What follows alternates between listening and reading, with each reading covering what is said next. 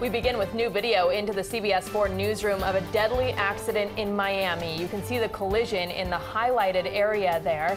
The crash involved nearly a dozen vehicles. And take a look at this. This is another angle. Look how fast it's going as it approaches that intersection. CBS 4's Donna Rapado joins us live from Jackson Memorial. Some of the victims have been treated there. And Donna, you spoke with one of those victims. We did, and he can't even remember which direction he was driving. He is so confused from the uh, impact and, uh, the, you know, the injuries to him. Fortunately, though, they were able to release him. Now, you know, 11 total cars were involved in this crash, spinning, colliding, 10 people sent here to the hospital. Uh, one of them, unfortunately, at the initial impact, a woman, she was killed instantly. It is a violent crash, very tough to watch, where you see a city of Miami dump truck plow full speed ahead into a stop taxi cab just a block from Marlins Ballpark. Uh, sitting in my office with a client, and we just heard a very loud noise to the point that it was so loud that it actually shook the house. All of a sudden, I hear a big impact.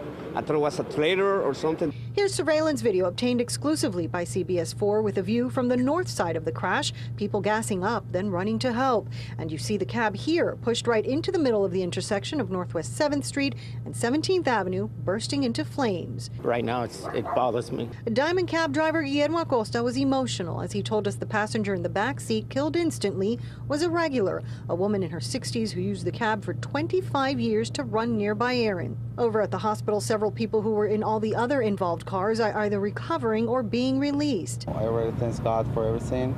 I, I just born again today. Greco Diaz was in a white Honda Sonata with a friend and her six-year-old. He was just released from JMH, but mother and son are still here, though doing well. Diaz can't even remember which direction he was driving, the impact so sudden and severe. That moment was awful. You don't even realize what's happening when your car is spinning. Suddenly, we just saw ourselves involved in that, and that was really, you know, not even scary. It's nothing. There is nothing in your mind. And noticeably upset, Miami's city manager did not speak directly to the media, but he did put out this statement calling the crash violent and disturbing. Our hearts go out to the family members uh, of those people that have been injured.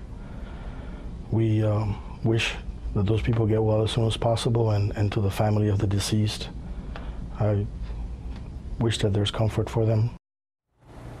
Now, traffic homicide detectives have a lot to piece together. So much going on here, but the biggest question now, what happened to this dump truck driver who you saw seemingly going full throttle, never really slowing down? Did he have a medical issue? Was there a malfunction on the truck? Was he distracted? That is going to be a key part of this investigation. For now, at least one man remains here in serious condition. We're live at JMH. Donna Rapado, CBS 4 News, tonight.